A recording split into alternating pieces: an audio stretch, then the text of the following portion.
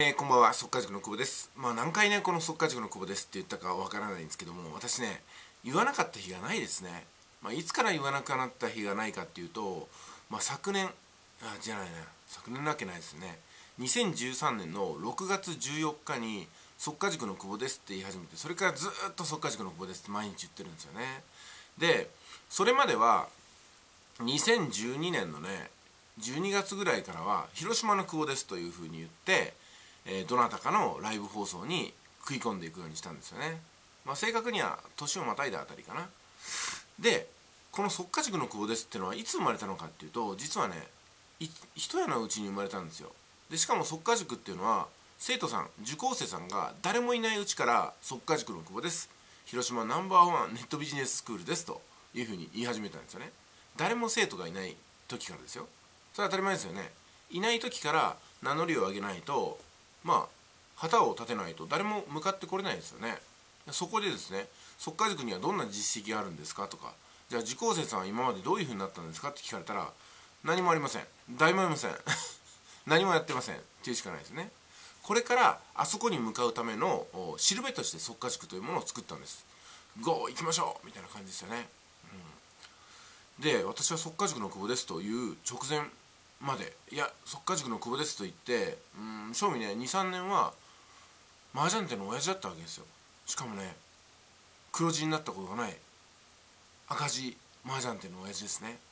どこが速稼塾やっていう話ですよ。どこが早く稼ぐんだみたいな。いや早く稼ぎたい塾なんですって意味でまあ最初はね思ってましたけどね、うん、まあそう考えると多くの方がね躊躇してるように何の実績もないからとかこういうふうに聞かれたら答える言葉がないからっていうふうにして立ち止まってる必要はないんですよね。例えばねまあちょっと例は難しいんですけども新幹線ですね、うん、東京から博多に行く新幹線。まだ博多に着いてないんですよ。東京駅にいる状態です。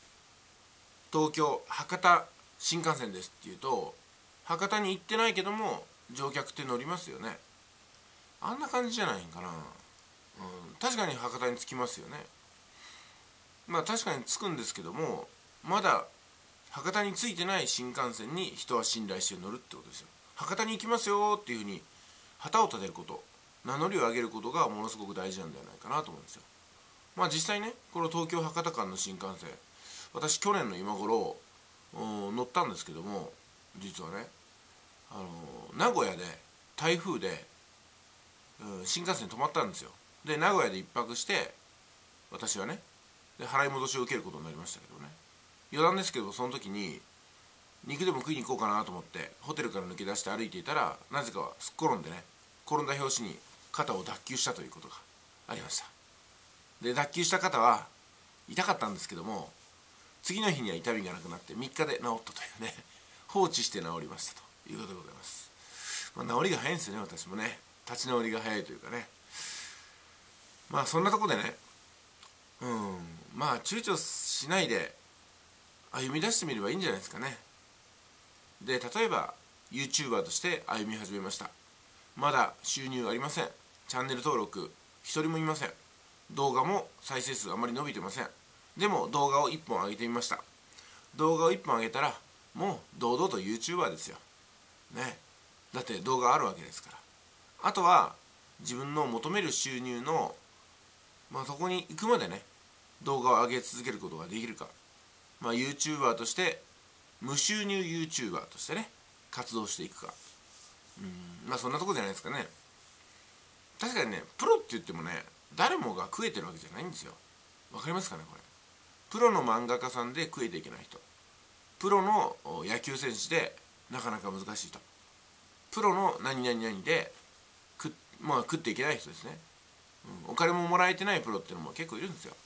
よくねプロっていうのはお金をもらえてるかもらえてないかがその境目だっていう方いますけどもどっこいちゃんとしたプロでももらえてない人はいるんですよ、うん、そうですね。麻雀プロなんてどうですかね。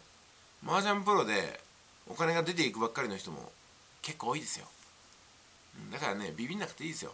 インターネットに関してはプロを名乗ってもとりあえずね出費で終わりってことはないですから。経費がかかんないんで。まあやってみればいいんじゃないですかね。向かう方向に道ができます。それでは。